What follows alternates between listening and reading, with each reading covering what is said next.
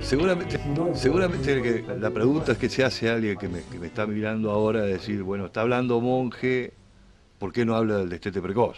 Es decir, el destete precoz está muy pegado a lo que es eh, en mi persona, porque yo participé del primer equipo en la Argentina que desarrolló esa práctica.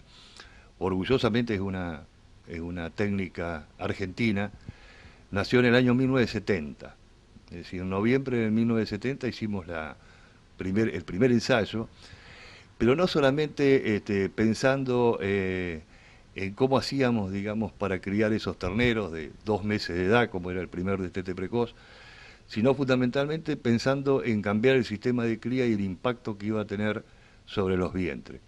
Bueno, la técnica evolucionó, gracias a Dios, en forma muy favorable, no solamente, digamos, para ser aplicada en cuestiones puntuales, como en, eh, en, problemas de sequías bastante profundas, como ha tocado esta zona, o San Luis, o, en el norte también del país, en donde no, eh, no solamente, digamos, se permitía salvar el ternero, salvar la vaca, sino también tener preñeces suficientes como para que eh, zafemos, digamos, el problema, por decirlo de alguna manera, en forma inmediata.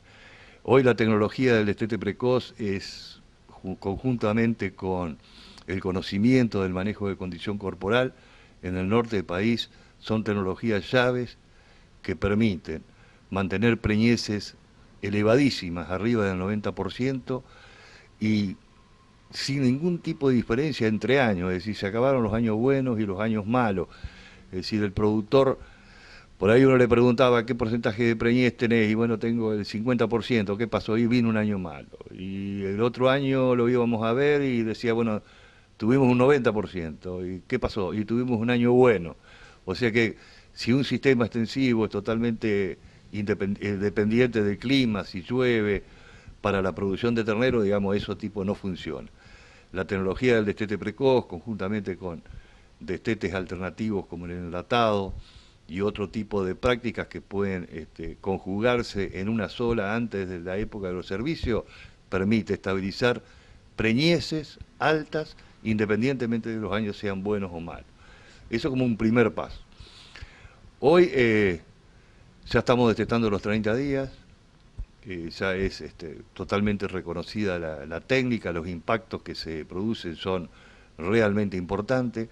La situación de los destetes con los terneros es algo técnicamente ya salvado, ya hay suficientemente experiencia y lo que sí estamos viendo es este, esa técnica del destete de 30 días conjuntamente con un mayor este, aumento en los niveles de alimentación de las vacas, de poder manejar 4, 5, 6 o hasta 8 vacas por hectárea en pastura, lo que permite realmente una producción de ternero realmente altísima. Estamos hablando en ciertas situaciones sobre pasturas y además con destete hiperprecoz de tener entre 6 o 7 vientres por hectárea produciendo, aunque parezca mentira, sobre la cantidad de pasturas implantadas, 5 o 6 terneros por hectárea.